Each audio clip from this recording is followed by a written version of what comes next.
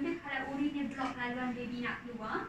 So jarak antara uri ke laluan kena jauh at least 5 cm kita dapat 8. Maksudnya Hmm. uri tak block laluan lah. Dah jauh dah. Cantik. Then uh, kita start dengan kepala baby. Kita boleh nampak muka dia ni. Nampak tak? Lutut dah nak dekat dengan ni muka. Okay, nanti kita tengok jantina dekat bawah. Alright, so Alright, kita bulatkan kepala ni umpama kita pandang dari atas untuk ukur lilit, lilit Oh, kepala lah. kepala dia. Aha. Kalau ikutkan due date dia hari ni dia ukur 2 minggu, bila kita ukur kita dapat 21.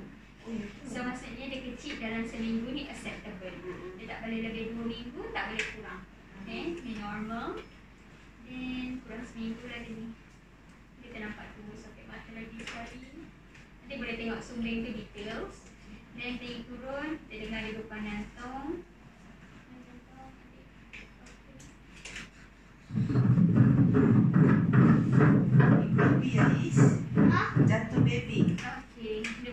Dia terkejut tadi.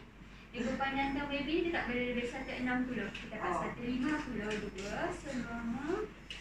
Good, then turun daripada jantung. Oh, jantung, perut baby ni kita cross section kan dekat bahagian perut jadikan bahagian dia, uh, badan dia bulat untuk ukur lilit pinggang. Okay, pinggang dia pun kena sama ikut minggu. Hmm. Oh, pinggang 20 22. Maksudnya ah 22 maksudnya ikut period okey lah Tapi Oh. kepala dia kecil sikit lah.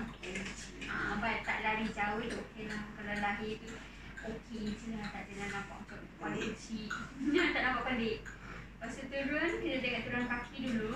Pun kena lurus biasanya kalau pendek kurang kalsium Alright kita dapat 22 okey lah normal Dan turun saya tengok jantina Saya tunjukkan kan kalau lah dia boy, ini tulang kaki paha dia naik ke atas. Lepas tu celah ni, kalau boy dia keluar pacak.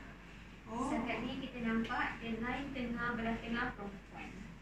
Okay. Okay, bagi besar sini lagi, kita boleh tengok ni tangan dia. Ha. So, kita akan tengok dia punya burger bagi besar sikit. 26 minggu, boleh tengok. Cantik. Perempuan. Okay. Perempuan. Dia line eh. Line tengah ni. Oh. Set tabung ceklupan.